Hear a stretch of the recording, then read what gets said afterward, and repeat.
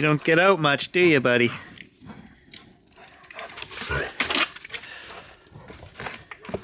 Look at that, surprisingly bright, sunny, and cold. Oh, all right, guys, minus 15 Celsius today, and we did have a bit of sunshine, but that's a problem because we're filming on a 1960s 35 millimeter M42 lens, and I don't have any kind of ND filter for this lens. So back into the garage with you. That's where we're going. Back into the garage. See, I thought I could feel a little bit of warmth from that sun, but at minus 15 Celsius, not a chance. Come on, Gage. Whew. Oh, did you see that weird flare when we shut the door? Where did it go? Uh, it was there.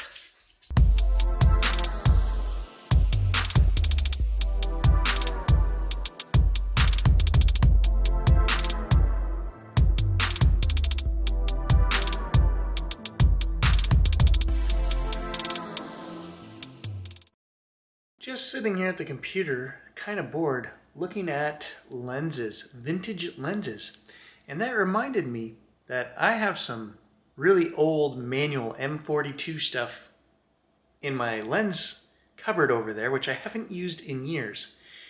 And one of the lenses that I pulled out of there is a 35 millimeter f2.8, which is what I've stuck on the Sony ZV-E1 right here.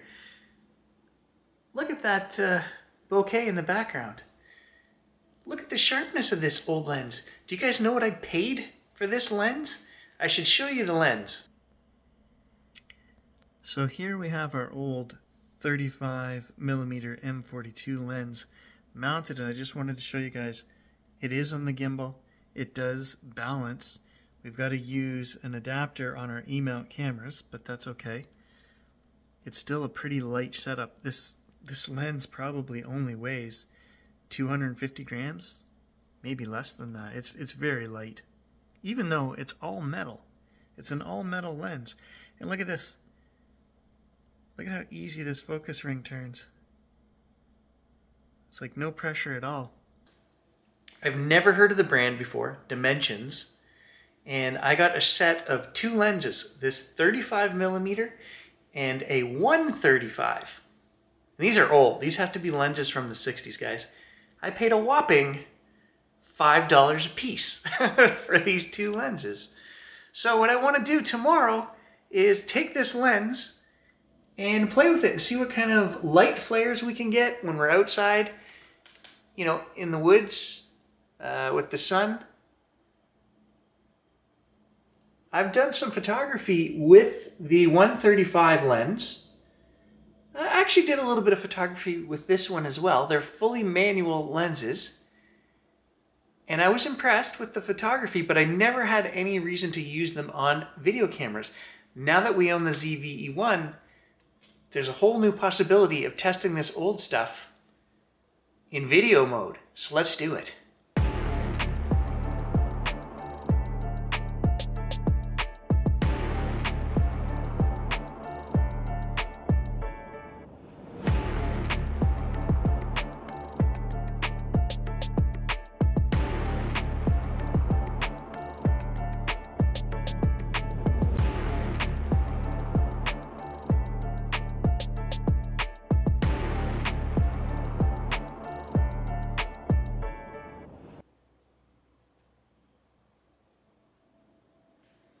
See that flare right there?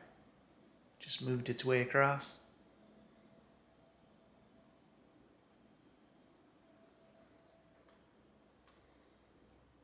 So I'm just out in the garage going to do some tinkering and I thought I'd give you guys a bit of a channel update. A lot of stuff has happened in the last week. Got cold, got snowy. Um, I took out some of my old vintage lenses and that's what I want to do this winter moving forward. When we have a little bit of time is I want to get creative with this new Sony ZV-E1 camera and play with some of the old lenses that I bought, you know, up to 15 years ago when I first got into the DSLR stuff with my cameras, I bought a lot of manual focus lenses that they were cheap and fun to play with. You know, lenses from the 1960s, uh, M42 mount, $35 a lens, or the lens we're shooting on right now, five bucks. so getting this new camera to play with video is kind of sparked my interest in those old lenses, which have sat in the cupboard for a long time. I know some of you guys are going to say, why did you buy the latest and greatest autofocusing system uh, in this camera and then stick a $5 lens on it and film in manual? Well, you know what? That's just the joy of being able to do both. So when we want to use uh, the latest and greatest autofocus, we'll just simply put on our new Rokinon 12mm lens that I've been doing all my vlogging on, and it's great, it's fantastic. That thing will track your eye. I 100% have faith that it is not missing a beat in autofocus. So it's going to be a bit of a challenge playing with these old manual focus lenses, especially when we use our new gimbal, which, by the way, is tracking me right now. It's such a cool feature, guys that uh, gimbal for that feature alone is worth you know the 370 bucks we paid for it. I have gotten used to uh, mounting and balancing this gimbal, so I'm happy with that as well. Walking around, I was having some issues uh, with the lens with it being tilted, but now we know how to reset that as well. If we push the menu button five times, it will re-center the gimbal, and that solved that issue. So I haven't had any problems uh, if there were any issues, it was this guy right here, I think. It wasn't the technology, it was learning to use the technology. So, moving forward with these lenses, I've had to purchase... There, there is something cool that I bought that um, I was kind of torn, guys, between buying a new lens uh, for birding, which we need to do because I'm still using my old A-mount glass. And on this camera, we, of course, have uh, an AI feature uh, which basically can detect the bird's eyes. But it only works with actual lenses made for E-mount. If we have to use an adapter and use some of my old lenses, it's weird. The, the AI processing unit will work for photography. So we can focus on a bird's eye using photography. It'll automatically go to the bird's eye. But as soon as you put it in video, for some reason, I don't know why, None of those features work in video. So there goes Gary having to drop $2,000 on a new lens when I want to make video recordings of birds and distant animals and things like that, which we do all the time on this channel. You guys, nature-wise, you know that I'm, you know, I, it doesn't have to be a bird. It can be a pine marten. It could be a fisher. It could be a coyote running across the field. I want the camera to track the eye. And this camera can do all of that it just can't do it with my old lenses. So I think it's time after 10 years that I'm going to have to drop some money and get a proper Sony 200 to 600 lens. But I'm going to wait until the spring to do that. And we're going to buy a used one. So if you guys, any donations that you guys are giving to the channel, uh, those of you that are supporting the channel, that's probably going to be the next big thing that I put the money towards is a newer lens for our wildlife outings and things like that, okay? Now, I did spend some of my money on something else. There was one other thing that I wanted to maybe do some videos on this winter, which is um, trying to get anamorphic style uh, cinematography. Some of you are like, oh, I don't even know what that is. Think of your favorite movies from the 1970s, early 80s, Star Wars and things like that. They were filmed in an ultra wide. It's called anamorphic. Um, lenses were used that had, you know, different features than, than these lenses that we use in modern times. They get a lot more flare on the lights, flare that will go right across the entire screen. So I looked at purchasing an anamorphic lens. I reached out to these companies, all of them saying, here's what we do. Here's our playlist of 350 photography videos, review videos that we've made.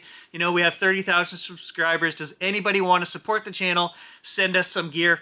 Nobody got back to us. So I just really couldn't justify dropping $1,500 on one of those lenses when we own all kinds of gear, 35 millimeter lens on here right now, um, that can almost do the same thing as the anamorphic lens, almost. This has some great, uh, feet, like, what's the word, characteristics. This lens has some great characteristics to it. The bokeh is not completely oval. It flares when there's lights in the background but it's very sharp. And one thing that we can do to add some anamorphic features is we can get a filter. Uh, there's a company called uh, Vid Atlantic that makes Cinemorph lenses. It's basically just a, a filter that goes on the end. Uh, it adds an, an oval aperture to the front of the lens, and in that there is a little strip of almost like fishing line, okay? And they come in different colors, and that will add flares in whatever color you choose. It will add some cool um, blooming and things like that, reflective effects. So I dropped $200 on a set of those filters, um, some step up rings, step down rings, and what else did I get? Oh, Black Pro Mist filters. I bought two of those. We're gonna we're gonna do some creative stuff, and we didn't have to spend fifteen hundred dollars on a new anamorphic lens. We're gonna cheat. We're gonna fake anamorphic because the ZV-E1 can also add the black bars while we're filming. Now it's not going to be a full stretched out wide as we want to go, but our new lens, like I mentioned to you guys, it's a 12 millimeter APS-C lens, which is super wide. And when we put it on this camera, uh, it's actually probably, by the time we zoom into it, it's probably about a 20, 20 wide. And if we add the black bars, we can fake anamorphic with that, guys. So that's what I'm I'm gonna do this winter is some creative projects like that. Filming wise, I want to write some projects, some stories. I just feel like I haven't been creative enough, and this is supposed to be my hobby channel, and here I am doing all these things that aren't really not fun. I'm reviewing products that I don't even want or like, or, you know, I get tired of the Bigfoot thing because, especially this time of year, I joined the Nipissing Naturalists Club this year for the first time ever. Um, so they do, they have a bird watching section, and uh, they set up meetings and outings, and you can also get reports on cool, cool, rare bird sightings in our area. And they actually had on the site yesterday that there was a hawk owl, I believe it was, out uh, in the Nosbonsing area, which is half an hour, 40 minute drive from here. So I may actually take a drive and go look for this owl. Somebody posted they did get a good picture of it. But joining this naturalist club, there will be all kinds of outdoor meetings. They will they will talk about uh, things that are going on in the city for environmental conservation wise. They do bird outings, things like that. Guys, it costs twenty dollars for me to join, and I recommend you guys if you have a club in your area, join to support them because they're all non for profit, right? Um, and then it cost me a whopping five dollars to join the Birders Club within the Naturalists Club. And the best part was that when I paid for it through e-transfer, I used my wife's account. so it didn't even cost me 25 bucks. So that's for all the guys out there. Do that to your wife. She'll really appreciate that. I'm sure I'll hear about it when she actually checks her bill and sees that that's on there. She'll be like, what is this? I'll say it was a Christmas present for me.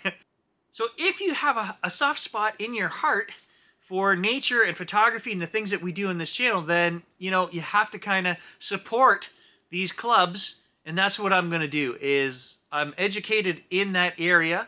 They do have speakers. I'll I will get something out of it by, you know, I haven't been in school for 15 years. I haven't taught at the school for 4 years. So I'm kind of out of the loop and this will get me back into the conservation side of things and maybe make some new friends along the way, right? I, I feel I have skills that Gary's not using and the older I get, the more into retirement I step.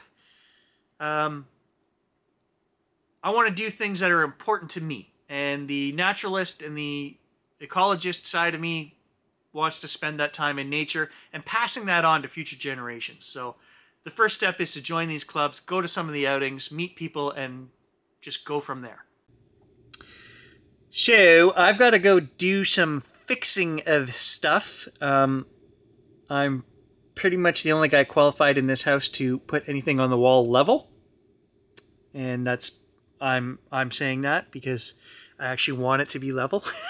so I know my jobs around here, and it's to take out the garbage, and the garbage is full, and it's full because I filled it. Nobody else would fill it, and uh, fix things. Those are my two jobs. Well, I guess I have a third job, which is walk Mr. Gage, because nobody else likes to go in the swamp, and he doesn't like walking on the road. He likes walking in the swamp, just like you guys. So those are my chores, and I've got to go get at it. This is our update, and I'll talk to you guys soon.